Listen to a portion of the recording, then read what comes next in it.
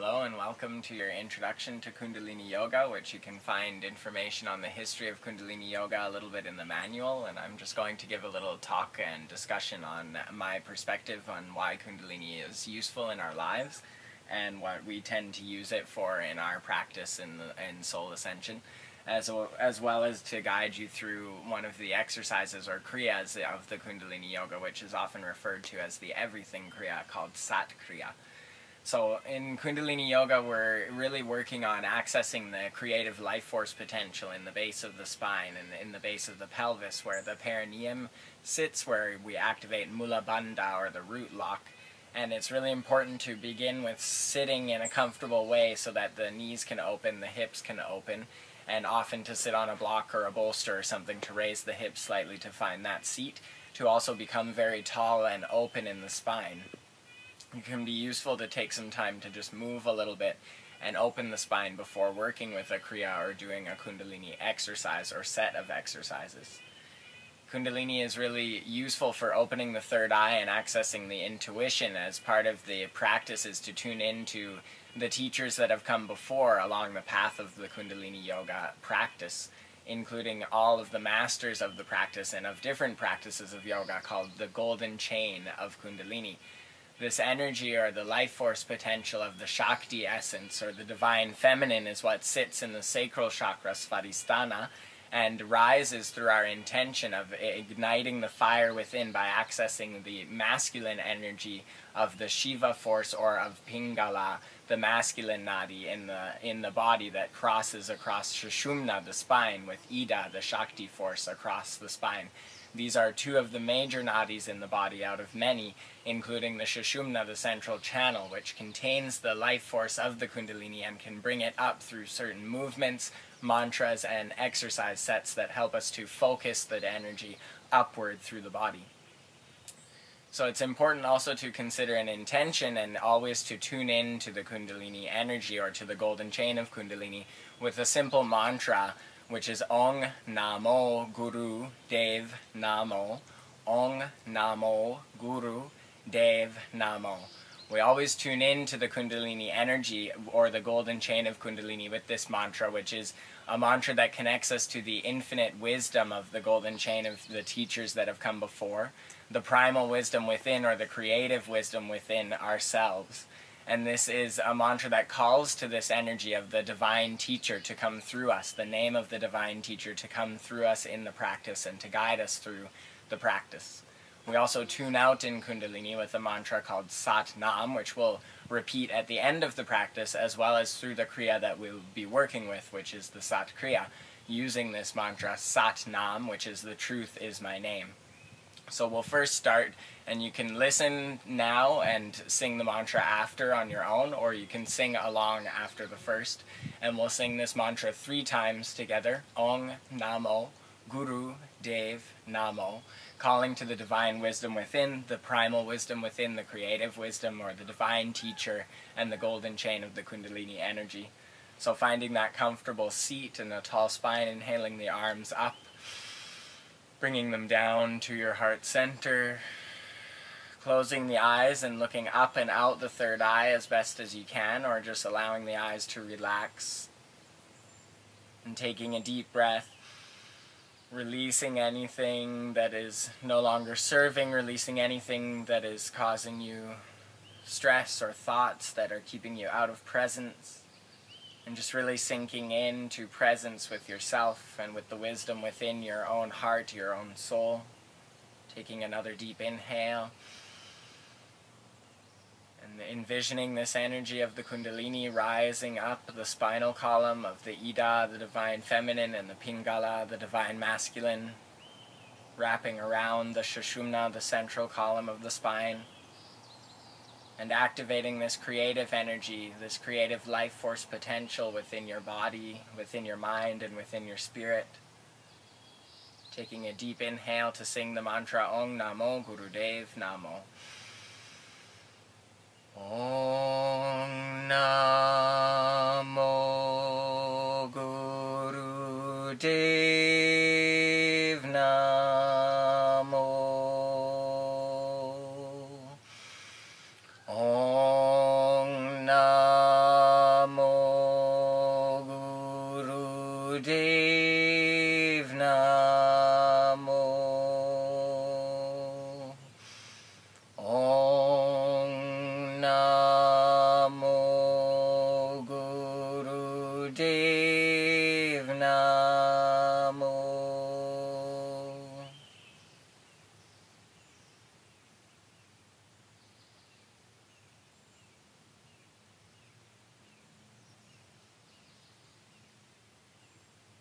taking this energy in and just placing the hands down on the knees for a moment and just moving front and back, opening up the spine.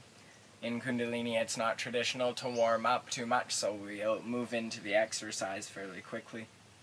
And maybe move a little bit side to side and start to feel into the belly or the belly lock, the Uddiyana Bandha, pulling the belly button into the spine and feel how that feels. Inhale and then relax the belly down.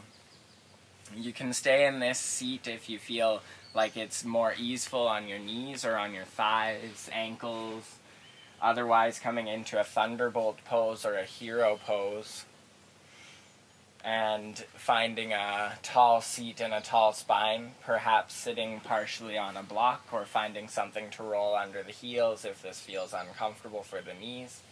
And you're also welcome to continue seated in Sukhasana. This meditation contains a movement of the belly, a movement of the breath, and a mantra.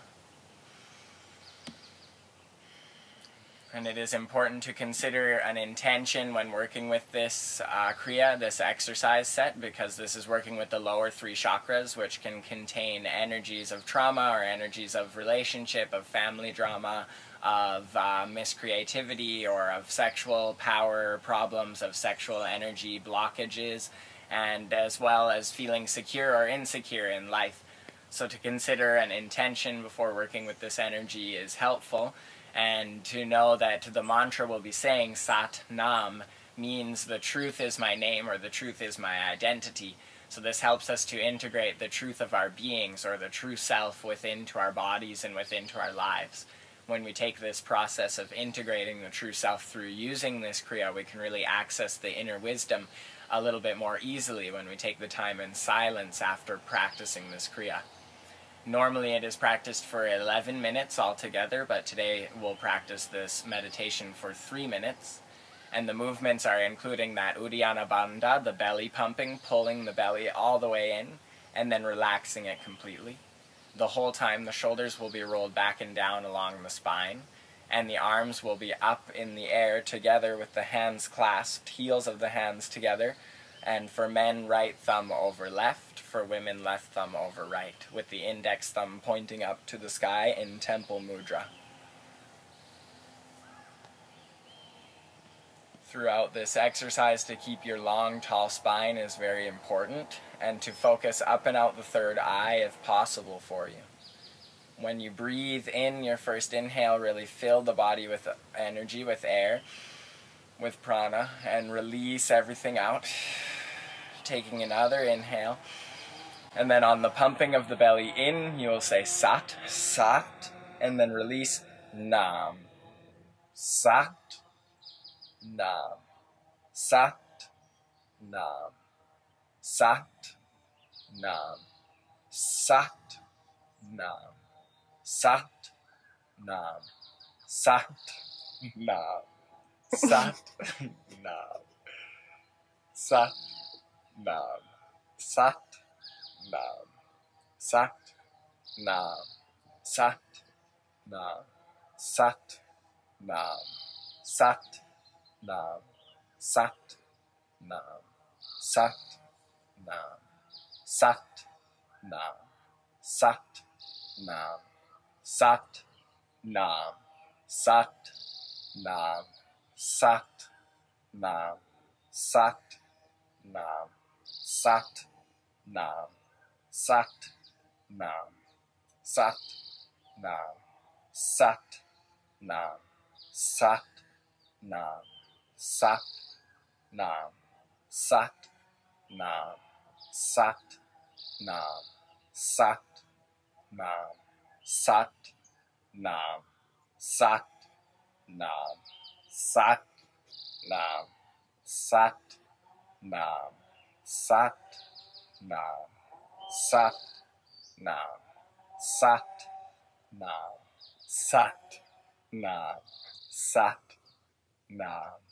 sa nam sat nam sat nam sat nam sat nam sat nam sat nam sat nam sat nam sat nam sat nam sat nam sat nam Sat Nam. Um, keeping the shoulders back and down on the body, keeping the spine straight, letting the breath regulate itself and just relaxing in, allowing yourself to rest if you really need to, but pulling through at least the first three minutes and doing your best after watching and taking some time to start this practice for 11 minutes a day if you feel ready, or for three minutes a day to start with Sat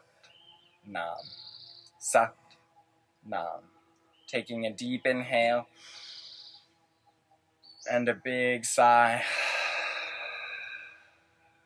Another deep inhale and very slowly lowering the hands down in front, drawing the energy forwards and down into the earth, releasing the shoulders back and down on the body, planting the hands down and taking your time to slowly move either into a comfortable seated position for some time in silence or a small shavasana for one to three minutes. If you practice this meditation for three, for three minutes, one minute Shavasana is long enough. If for 11 minutes, take a Shavasana for three minutes or longer, depending on how you feel. At this time, at the end of your meditation, it is important to take a moment to tune out of the Kundalini energy or out of the golden chain and to release the energies that have moved through your body and to integrate what is needed. So after you've finished your rest or your meditation and taken some time in Shavasana, then you can close your practice by tuning out with Sat Nam. This can also be integrated into a sequence of any form of yoga or to be practiced in line with other Kundalini Kriyas in a full Kundalini class.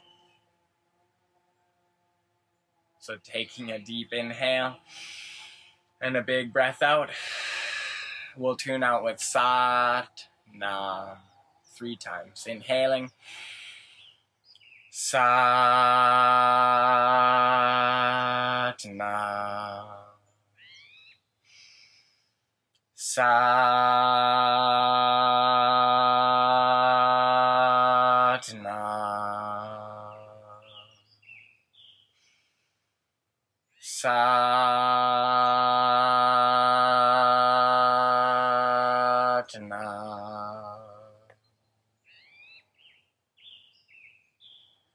Thank you for watching this practice today and guiding yourself through Sat Kriya, learning the introduction to Kundalini.